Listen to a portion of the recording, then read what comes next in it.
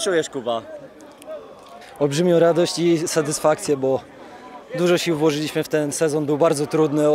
Mieliśmy dwa momenty kryzysowe, były różne sytuacje, ale przetrwaliśmy to cało, całość jako, jako drużyna i dzisiaj, dzisiaj zbieramy tego plony i będziemy się cieszyć. Dzisiaj e, ten mecz to tak, tak jak kwintesencja całego sezonu, bo tak wyrachowanie, żeście tą Polonię ograli, tak jak przystało na zespół, który e, awansuje do ekstraklasy i awansuje to z zespołem, który spada z e, tej ligi.